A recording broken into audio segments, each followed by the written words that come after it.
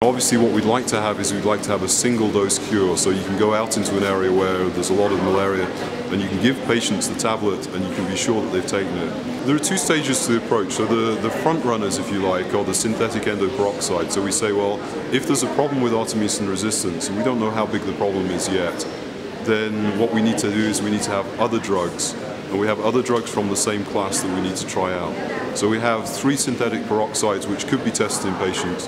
What's interesting at the moment is that there aren't sufficiently large numbers of artemisinin resistant patients to make clinical trials easy. So that tells you, gives you an idea um, how much it's spreading at the moment. And also to say that the artemisinin combination therapies that we have are still working even in the artemisinin resistance areas.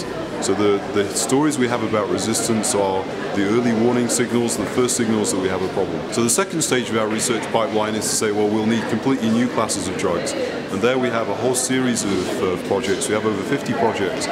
Some of them are actually done with universities, some of them are done with pharmaceutical companies. And what we've seen is seen a real growth in the number of pharmaceutical partners who are interested in doing basic research, discovering new medicines. So that's really exciting. So there are three things that come out of the research agenda for eradication. The first is to say that not just treating the patients for having falciparum malaria, what we have to make sure is they don't pass the disease on to somebody else.